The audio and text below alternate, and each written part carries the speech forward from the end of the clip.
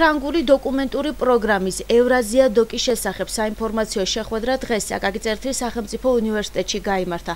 საპროდიუსერო კომპანია ოპიოდოკის წარმომადგენლებმა სტუდენტებსა და ლექტორ მასწავლებლებს ინფორმაცია იმ ფრანგული პროგრამის შესახებ მიაწოდეს, რომელიც მიზნად ისახავს დაეხმაროს დამწყებ პროგრამისტებს განავითარონ საკუთარი იდეა და შეძლონ დოკუმენტური ფილმის სცენარის შექმნა.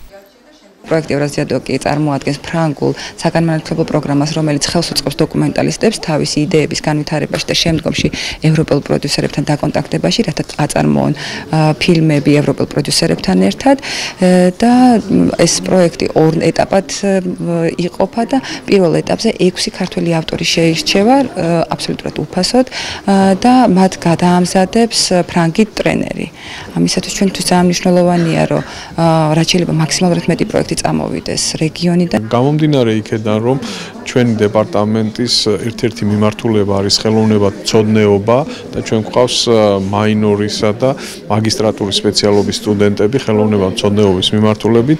მიზანშეწონილად მივიჩნიეთ კონტაქტი დაგვემყარები ამ კომპანიასთან და მოგვეწვია ისინი უნივერსიტეტში, რათა მასტერ-კლასი ჩაუტაროს ჩვენ სტუდენტებს, მაგისტრებსა და ბაკალავრიატის სტუდენტებს.